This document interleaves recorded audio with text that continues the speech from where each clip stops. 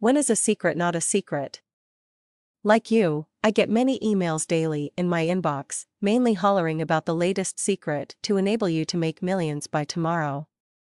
Now sometimes the sales letters amuse me, but, inevitably they truly make me angry. The reason they make me angry is because they offer you a false promise, and the guys peddling this know it.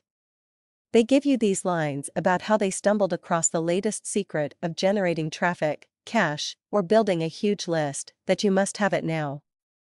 They know damn well, in most cases, that the product is not going to have a cat in hell's chance of you making that kind of cash, they just want you to buy, so you can go on and buy their upsells. This kind of practice makes me feel that we are just a bunch of bozos, who do not have a clue about life, and feed off the desperation that this recession has left a lot of people in financially in today's financial climate.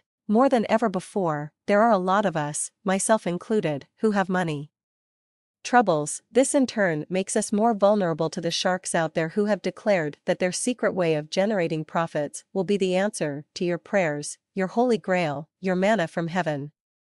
This secret will dig you out of your financial mess in as little as 90 days, or even less. Please stop this madness.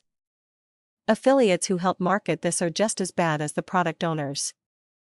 They either know, or at least have an inkling that this secret is not going to help you make money, in fact, all it will do is make them money, as they earn a commission on the deal, and the product owner also gets their cut. Now please let me make this quite clear here.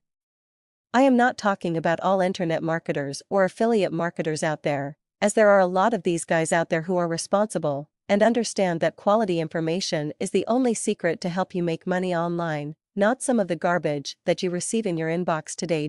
As a final note, I just wish to say please be incredibly careful on what you decide to purchase. Too many people out there are too willing to help you part with your hard-earned cash, and, just don't care if you and your family simply cannot afford it. However, I will stress again, there are just as many good internet marketers and affiliates to help you in your online business, as there are cowboys out there to make a fast buck from you. Be balanced in your purchases, and you will find that will be the best way to help you make money. Take care and I'll see you at the top Paul.